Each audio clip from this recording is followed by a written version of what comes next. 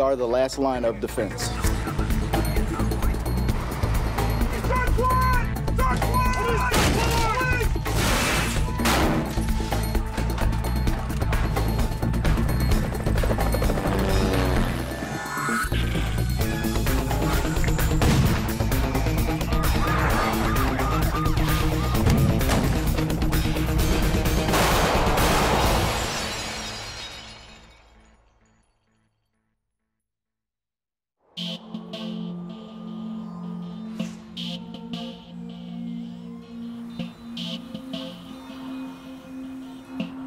It's the beginning of the day at Miami-Dade Police Department.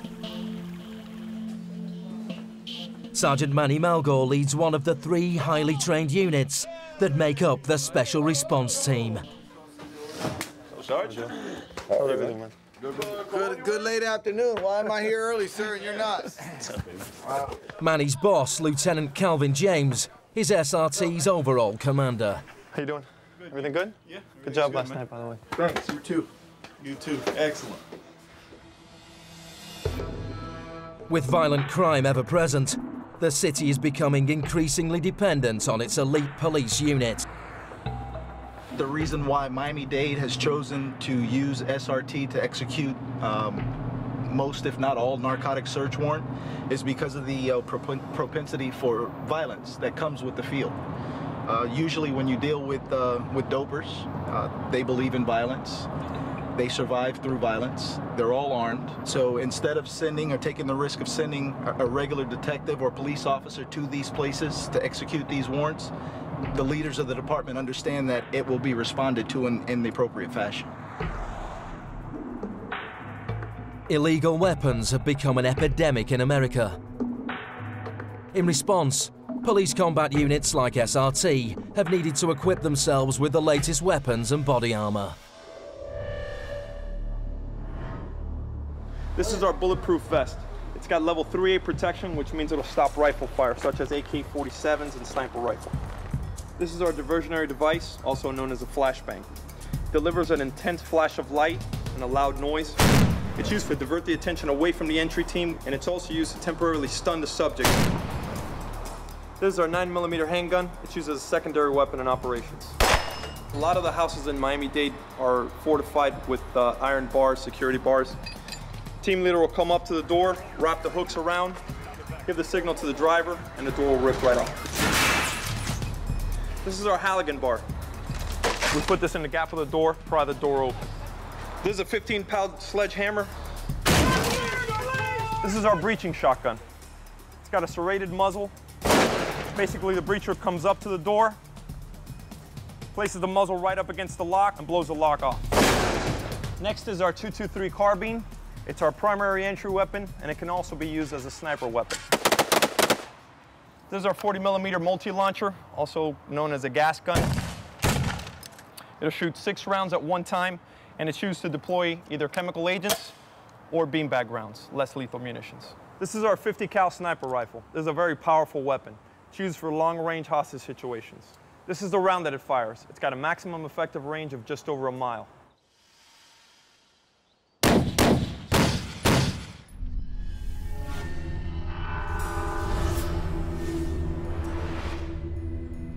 The night team now with what has become an all too familiar scene in South Florida a gunman opening fire on a group of unsuspecting teenagers with a high powered weapon. Another day, another multiple shooting here in Miami-Dade County. And in this case, we have five people wounded after police say an altercation broke out inside this popular nightclub for teenagers. And at this hour, the shooter is still on the streets. One after the other, up into the ambulances they went. All of these young people shot early Sunday morning. This is the latest of several mass shootings in Miami-Dade County within the last few months. Just last Monday, three people were shot outside of Club Space in downtown. And before that, nine people were victims of a shooting in Liberty City that left two teens dead. On the streets of Miami, an AK 47 is cheaper to buy than a PlayStation.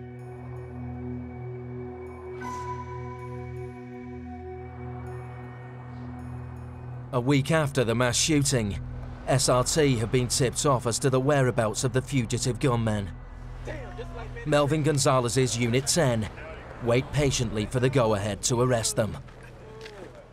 We, we've been waiting here for about three hours, waiting to get the, the search warrant signed, or for detectives, for that matter, to get the, the search warrant signed. But I mean, sometimes we have to wait. We have to wait. Everything, all the legal aspects of it have to be done the right way. And then when we get the word, that's it. We get to we're straight to business, and we don't skip a beat. After five hours, the squad has been given the go-ahead to make the arrest. They must prepare themselves to take on gangsters willing to shoot on sight.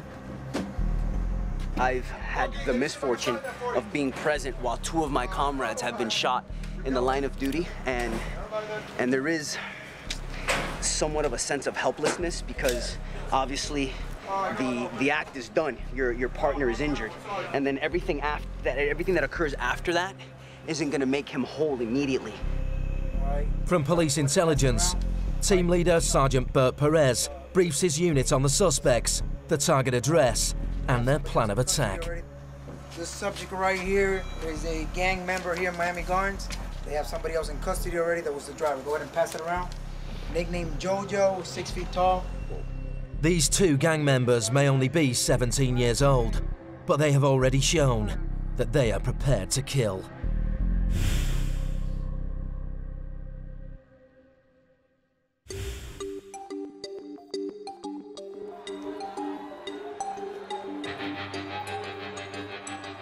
Miami's South Beach is a resort that never sleeps. Known as America's Riviera, its Latino all-night party scene has lured the world's jet set. But just 10 miles from the bright lights of South Beach's impressive skyline is the dangerous area of Miami Gardens, where the Special Response Team have met a few miles from the home of two members of the notorious 170 Boys Gang suspected of shooting five people. Both gunmen are just 17 years old, but are armed and highly dangerous. It's a one-story single-family home. The premises has a light color roof and it's bordered by a chain link fence. The entry team is going to be Mel with the shield, Cruz 1, Flaco 2, Madruga 3, myself, Larry and Joe on twos, followed by George Caceres. Again, uh, subjects involving uh, shootings and gangs, all right? And they're looking for a weapon in there, all right? And we're looking for subjects, okay? Every SRT warrant is meticulously planned. With such high stakes, Melvin believes that intelligence on their target is essential. In a situation like this, whoever has the most information definitely has more of an edge and more of an advantage. Uh, we've got numbers, we've got the element of surprise, uh, and we've got superior equipment and training. That definitely gives us the edge. All right, easy day, guys. Yeah. We have information that he's supposed to be badder or tougher or more dangerous than the average criminal out there, but you know what? You never know who's capable of, of doing what. And uh, you're always ready, as cliche as it sounds, you're always ready to expect the unexpected. You don't ever want to become complacent because on the one search warrant that you become complacent, that's the one where Godzilla is waiting for you on the other side of the door.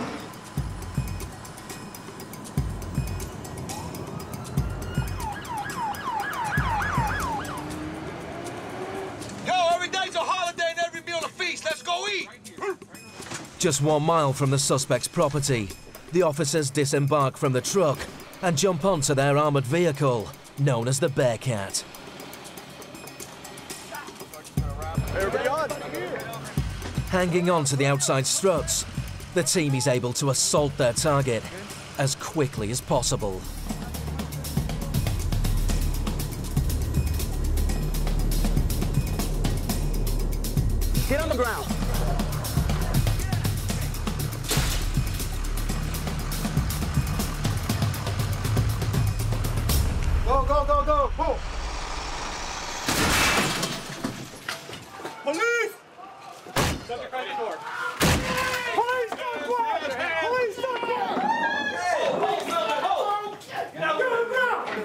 Get on the ground. SRT systematically searches each room, looking for the gunmen, detaining other suspects they find in the house. Oh my God, oh my God. Y'all didn't have to break the door. Officer, why you had to break the door open? All you had to do was knock on the door and I would have uh, opened uh. it. Look at all of this. Yes, sir. My arm. Uh, my arm. Oh my God. Sir, my arm hurt. Hey, Y'all sit didn't down have on to your break butt. the door. Put your feet out in front of you and cross your legs. Oh my God. What? What they got? All the crystal glasses broke. Oh, man. Do you know how long Hey, it took hey. my mama to get that break the house? down? Okay, okay, all right. We need you to stay calm, all right? Now what we supposed to do? The entry team continue their search for the gang's main gunman, who's finally found in a back room, along with the ammunition he allegedly used to shoot five teenagers. Don't hurt him, please. Oh God, don't hurt my baby, please. Oh God. The job went absolutely as expected. It couldn't have gone any better. Everybody's leaving here with not so much as a paper cut, which in my book is a completely successful search warrant because everybody came in, everybody's going home exactly how they got here. And it's actually funny now that I ponder it, serving search warrants in the neighborhood that I grew up in, it's kind of like a good and a bad because I mean you come and you're coming for you're coming back to your old neighborhood to serve search warrants uh, on, on people that are doing bad things, but at the same time you get to reminisce a little bit and I remember the, the times and the days that you would spend playing kickball in, in these very streets. Nice. Are you happy about that, Larry? Yeah, perfect. Ongi. Excellent shot.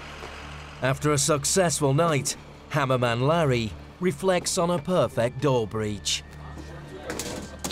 Another win. I feel great. It's a great day. I had a nice tobacco, a nice uh, cigar before the warrant. It was a good night. Go home, give the kids a big hug and a kiss, let them know Dad got home today, safe. Uh, give the wife a kiss and a hug, and uh, call it a day. Start another day tomorrow. Two months after being arrested, the teenagers still haven't been charged, as no witnesses or victims have come forward to testify, even though a reward of up to $50,000 has been offered. Sergeant Ray Melcon returns from an intelligence gathering operation for a warrant to arrest another member of the 170 Boys Gang. In your opinion, is there a trend amongst gang members to recruit the younger and more vulnerable? Yeah, absolutely. The, the, the trend has always been for, for the senior gang member to recruit a junior gang member because basically they're doing all the dirty work and the uh, senior gang member is, is getting all the proceeds. These poor kids are, are, going into the life of crime, leaving a trail of, of disaster in their wake. And unfortunately, the only time they, they learn their lesson is when they, they get caught up in a, in a feud and end up dead or end up in jail. Ray believes that the only way to stop the rise of teenage gangs is for SRT to employ a zero tolerance policy. We need to show the community that we are going to do whatever's necessary to be the knights in shining armor to keep the, the street safe. We're not going to allow any gang member with whatever weaponry and whatever preparation they may have to supersede our authority. I don't care whatever a gang member or crew brings to the table. I don't care if they bring additional weaponry or they're planning for us. We've planned for the worst contingency and we're going to come out with success and as winners.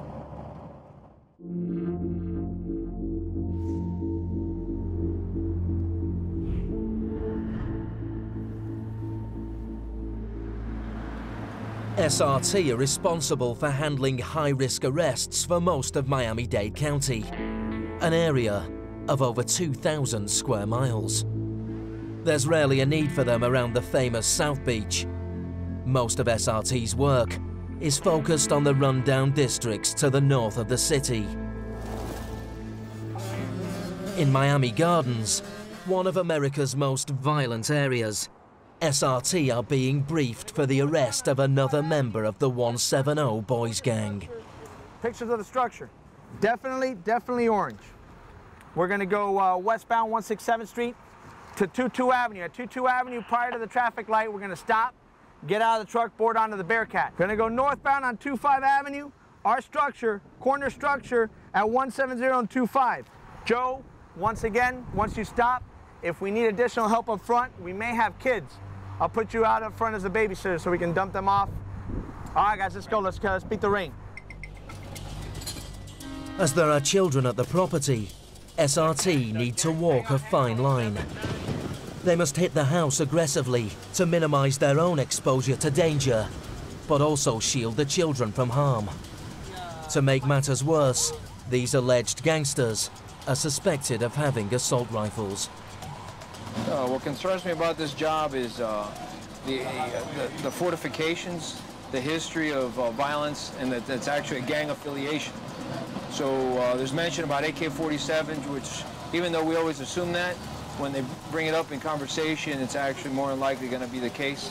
And we're hoping that we don't have those kind of confrontations on this one, but we're always prepared for the worst. As the weather worsens and the light fades, Ray's unit climb onto the outside of the Bearcat in preparation for their surprise attack. How dangerous is the weather? Visibility is one. Two is the possibility of lighting at any one of these thunder. And three, maneuverability of the vehicles. If we don't lose maneuverability, somebody crashes into us or we crash into somebody else. But these treacherous conditions don't seem to dampen Ray's spirits. In every crisis, you gotta look for the opportunity. Obviously, we feed off the crisis. Cars up front, possible kids in the house. Car out front.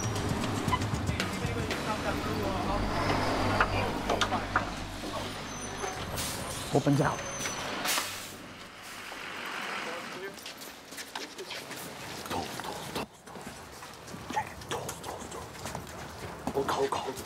Police search warrant! Search warrant! Police search warrant! Police search warrant! Take it, take it, split, split, split, go, go, go.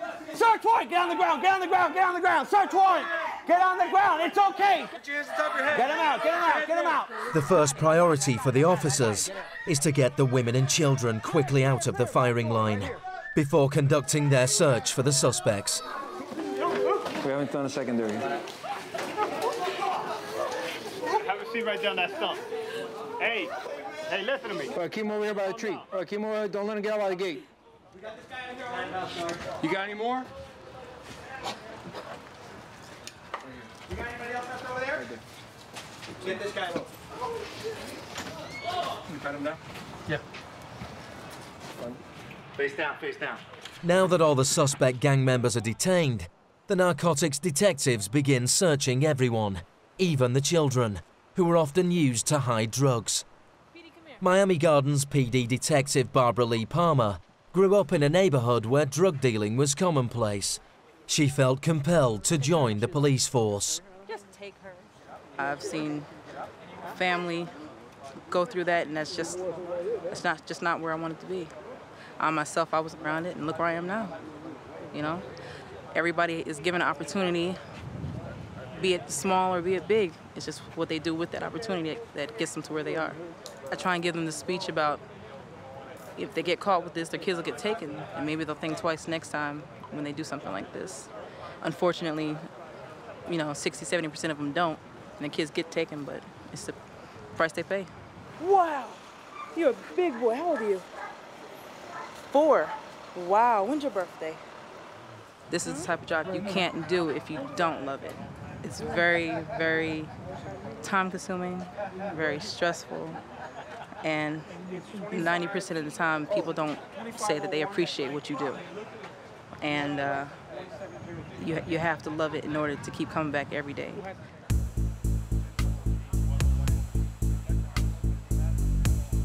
After a thorough search of the house, SRT and the narcotics detectives eventually find what they've been searching for.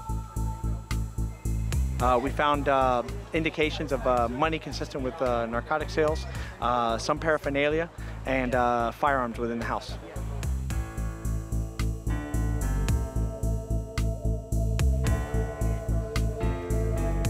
The main gang member is charged with possession of firearms and marijuana with intention to sell. The business of drug dealing is often seen as a ticket out of the ghettos. The drawback is that these criminals will often face SRT, who undertake over 300 drug warrants every year. The following day, SRT's Unit 10 are back in the ghettos for another narcotics search warrant. The team won't have far to travel, as heroin dealers are operating out of a house directly opposite the police station. Apparently, these uh, these individuals have decided to sell drugs uh, right in front of a police station, which uh, makes them pretty brazen. I mean, there's not too many people that I would think would have uh, enough sense or common sense, if you will, as to deal drugs in front of a police station. So I don't know if they're really, really brazen and brave or if they're actually kind of dumb. Officer Melvin Gonzalez will be first to enter the target house, so he works the shield. This is our shield locker. This is where we maintain our shields. We have different level of shields. This is the standard shield that we use more often than not. The majority of it is consisted of uh, bullet-resistant material. It's got a ballistic glass that allows me to see through it. It's got this plastic assembly that houses this light that I'll use to illuminate the path in front of us. In the back of it, it's got an apparatus here. It's ambidextrous, so you, it's designed to be held with either the left or the right hand. It's got a switch, on and off, an on and off switch here that sends electricity to the touchpad. And then when I push the touchpad, it activates, turns on, and turns off the light. Uh, it's simple technology, 5,000 year old technology, a basic shield. When they threw rocks, shields were made of wood. When they threw arrows, shields were made of metal. Now bad guys throw bullets, so now they have to be made of Kevlar. As the drug den for this warrant is just across the road from the police station, Sergeant Bert Perez briefs his men around the corner so as not to draw attention to themselves. Search warrant, Hispanic male selling heroin, approximately 15 feet across the street from POB. This is 3 Fight Street, POB is right here. Don't worry about it. A 30 second ride in the Bearcat, and SRT arrive at the target address.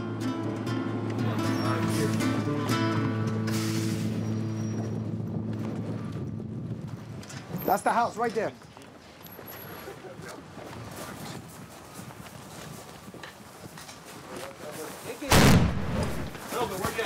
All right, we got subjects running out the back. Subjects running out the back. Police warrant! Uh, go, go. The alleged drug dealers try to slip out of the back door, but SRT easily capture them.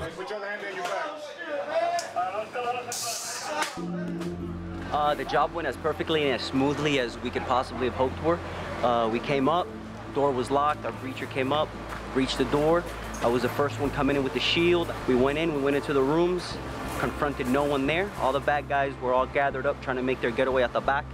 Um, it went smooth, smooth, smooth, smooth.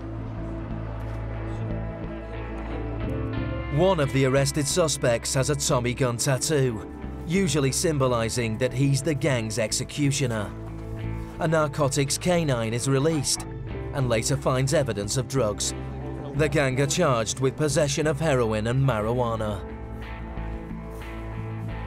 This is where they're selling heroin out of, and like I told you, right across the street, we have marked police cars in our police station.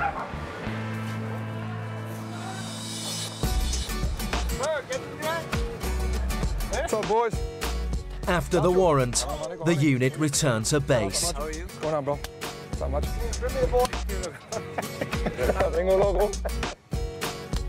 Ferg? What's going on, man? Yeah, don't touch, don't touch them too hard, man. They might, they might, they might, they might explode. Working constantly in the line of fire, these SRT officers have developed a unique friendship. Oh, hey, the now you're gambling, dale! What we like to do is just uh, sit around, talk, crack some jokes, and easy up the, uh, you know, the atmosphere. I would bet winner, the tipo winner, the tipo loser. unit cohesion is the is, is the is the best thing in this in this in this unit. It's uh, it's something that we look for.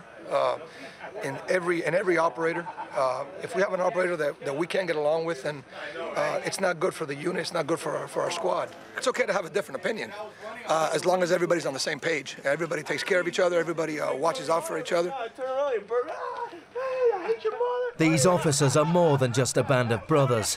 They've been trained into an elite fighting machine to bring Miami's most hardened criminals to their knees you can send a, a, pack of dogs inside a house and they'll search the house for you. Uh, but it's just a pack of dogs. Uh, It takes an operator that knows what he's doing, that's, that's seasoned, that's, um, that trains together from the oldest guy in the unit to the youngest guy in the unit. Um, I would say that there will be a lot more police officers hurt in this job uh, if SRT wasn't around or if the county didn't have an SRT unit. I think it's a credit to our training that we haven't been, uh, that we haven't had anybody killed.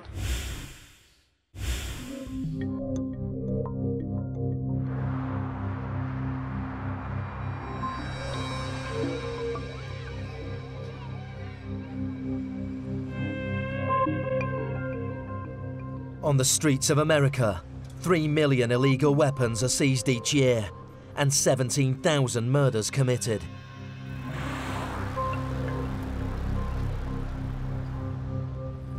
In the area of Miami Gardens, SRT has been called in to arrest a local rapper known as Dollar Bill, who's suspected of attempted murder. An SRT unit led by Sergeant Manny Malgore is already inside the house, and Dollar Bill has barricaded himself in the attic. He's in the attic. He's in the attic. Kill yourself. You have a No, taser? He's not, he's not complying. Whilst Manny's team hold their positions inside the house, SRT's commander, Lieutenant Calvin James, oversees the operation. Yeah, go ahead.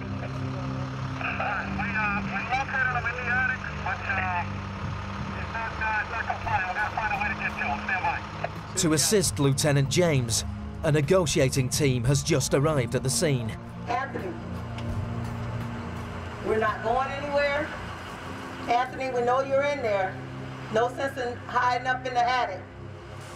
Take the cover off the attic, show your hands, and come down from there and do it now. You don't want us to tear up your friend's house. He allowed you to come in there for safekeeping. But we're not going anywhere. We'll do whatever it takes to get you out of there.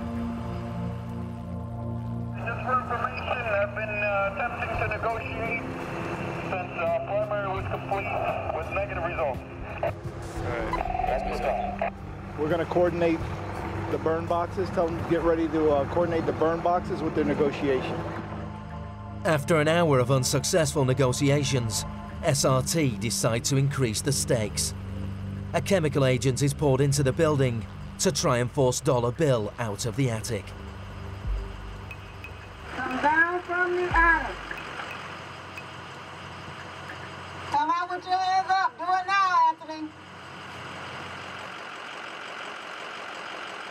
Come out, Anthony. Do it now.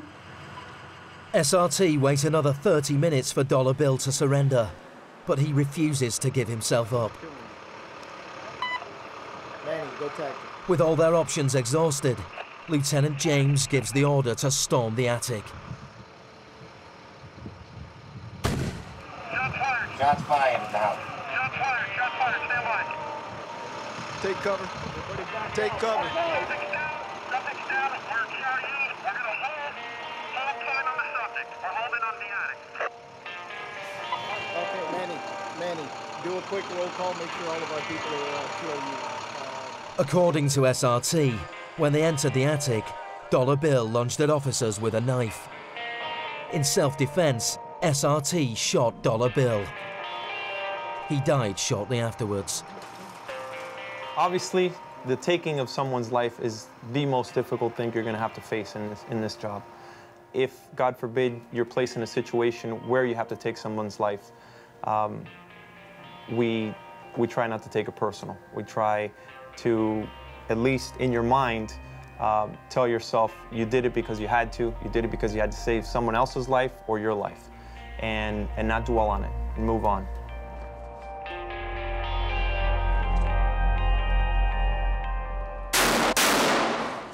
To take down Miami's most hardened criminals, SRT has needed to become one of the world's best units at close quarter combat, as the consequences are severe.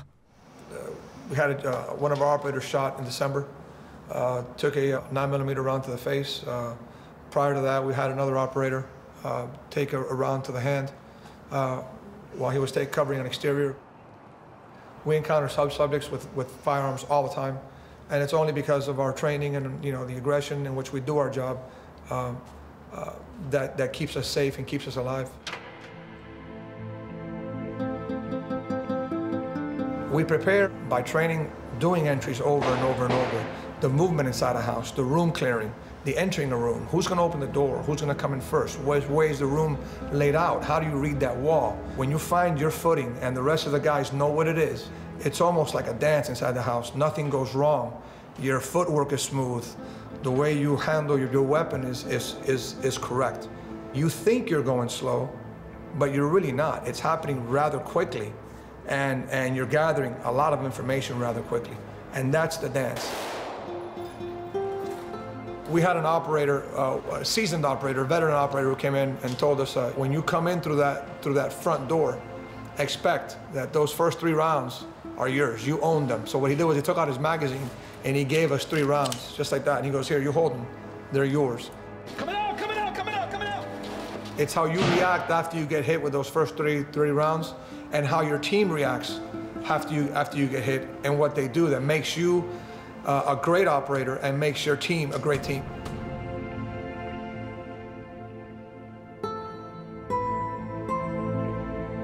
You practice it, you rehearse it, you train for this all the time, but you don't, you know, you don't really know until game day how it's gonna, how it's gonna play out.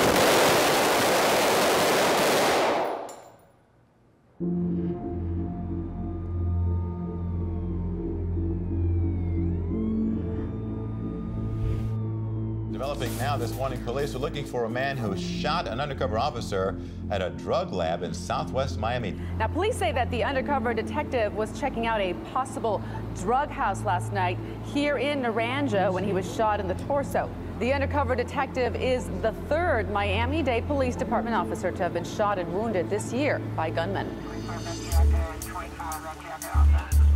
Policing in America has never been so dangerous. Every 53 hours, an officer is killed on duty. News of the latest police shooting in Miami has reached Sergeant Manny Malgore's team. My understanding, an officer's been Apparently, uh, one of the narcotics guys just got shot uh, down south. For 272 Street and uh, 152 Avenue, we're trying to figure out what uh, what exactly happened and if they have the subject in custody or whether he's inside the house. Last information I got, the subject may have run back inside the house, so we might be heading over there. Start gearing up. The unit is at a staging post preparing for a planned warrant. But this will now be postponed, as SRT have been instructed to try and capture the gunman. Are you guys on? All right, the staging area for now is going to be 272 Street and the highway. 272 on the highway. How difficult is it knowing that you've got an officer shot? Well, obviously, my, my first concern is is for the officer's safety. As a human being, it's it's very difficult. Uh, not to want to seek revenge and not to see it's personal, especially if uh, if the officer is a friend of yours or someone you know. It's very difficult. Um, but that's where the professionalism kicks in, and you got to let you got to believe in the justice system and, and let you know justice take its course. Our job is to catch the guy.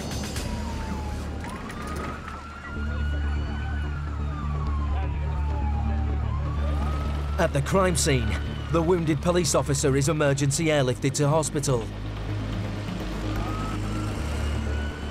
On arrival, SRT immediately take control of hundreds of police officers. All right, let me get everybody over here. That's our team. Meet me at the front of the Bearcat. It's supposed to be a Latin male.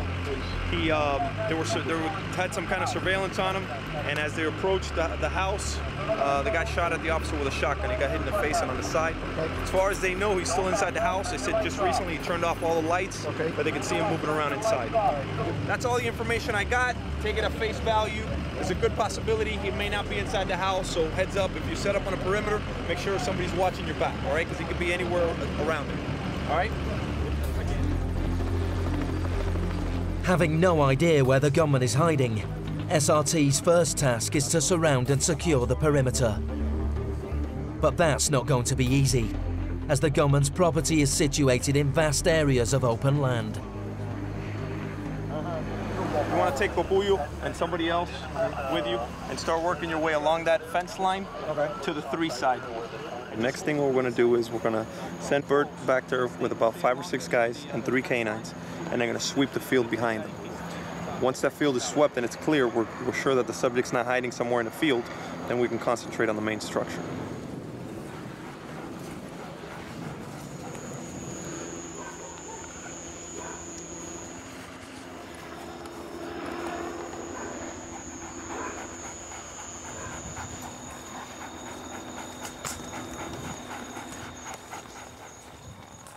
Stands now, we've cleared the, the acreage that's behind us with canine to make sure that there's no there are no subjects hiding back there. We've uh, been able to clear this small room that's here. Turns out to be a storage shed, and right now we're going to set up to contain the backside or the three side of the house. Is there any difference doing your job when it's somebody who shot at police, or is it just business?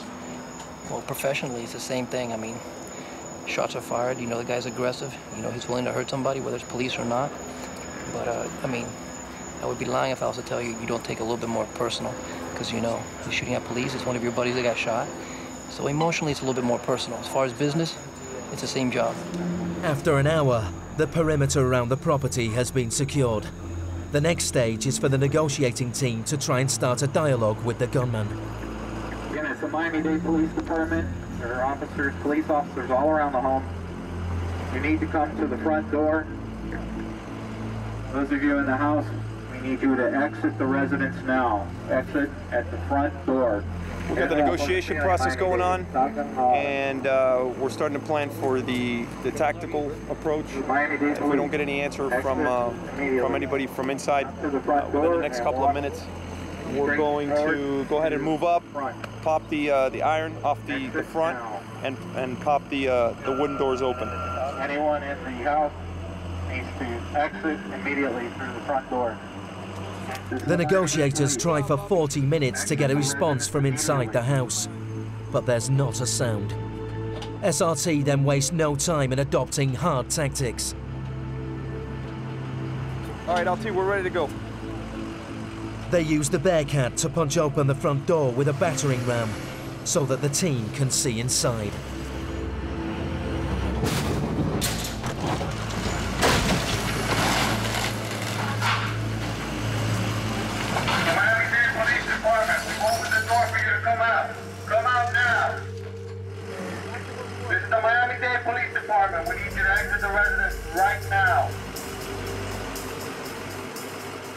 There's still no sign of the gunman. So SRT use multi-launchers to deploy a chemical agent that causes uncontrollable streaming of the eyes, breathing difficulties and disorientation. All right, let's go. Gas, gas, gas. The plan is to give the suspect no place to go, but outside.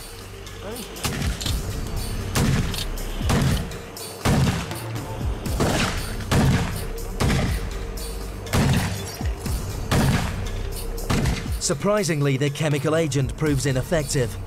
To make the arrest, SRT have no choice but to enter the gunman's domain.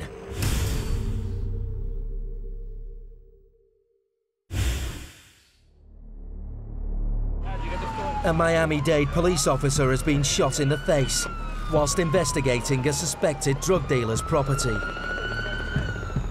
The county's elite police unit, the Special Response Team, has been called in to arrest the gunman presumed to be hiding in his home.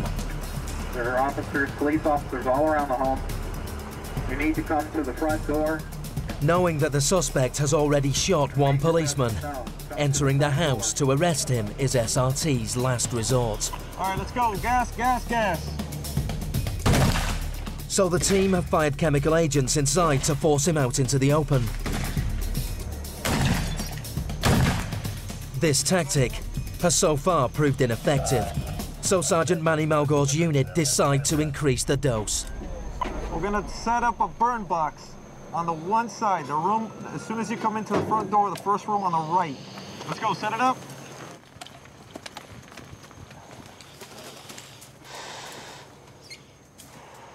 A burn box delivers a huge payload of chemical agent into the property all at once. How much CS gas can somebody actually take? Uh, there's a lot of there's a lot of factors uh, in there. Uh, you know, the guy's tolerance. Has he been exposed to it before? People tend to build a tolerance after a while. Uh, mental state uh, on, on deranged people, it doesn't work as well. Uh, you know, there's a hundred million things. Since SRT arrived four hours ago, there's been no movement inside the house. Manny then decides it's time to storm the gunman's home and find him. Now listen, the barricaded subject search, all right? There is no hurry. I don't want two or three separate teams searching three or four different locations in case we get into a shooting, all right? Let's do it. All right, I need points on the left.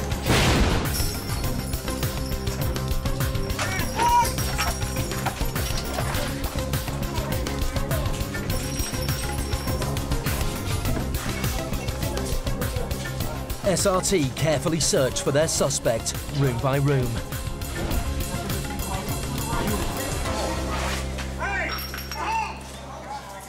But there's no sign of the gunman.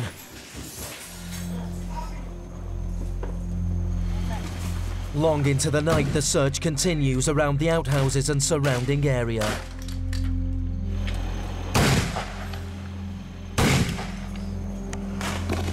Eight hours into the operation, and there's still no suspect. But instead, SRT finds what the gunman was protecting a clandestine grow room full of marijuana.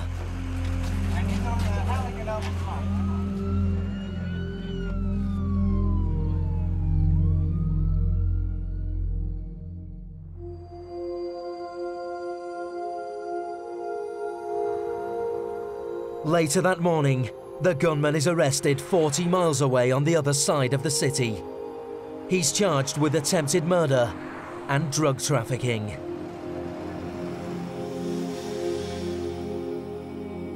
This is a man that police arrested, Yoel Padron Garcia. They say he was guarding a marijuana grow house.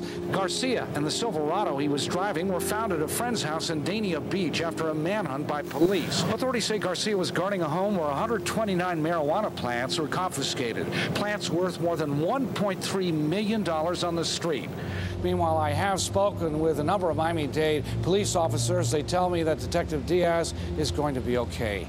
We're live at Miami-Dade Police Headquarters. Peter Nance, CBS 4 News. Back at the Special Response Team's headquarters, Manny and his team prepare for another busy day. The subject that we were looking for last night, the one that shot the uh, police officer in the face, we were uh, there for hours uh, yesterday. Uh, we checked everywhere, and uh, obviously we didn't we didn't find them last night. I just got off the phone and uh, got information that they picked them up in Broward County last night. So at the end of the day, it doesn't really matter who gets him as long as he's going to jail. And now we're off for another job.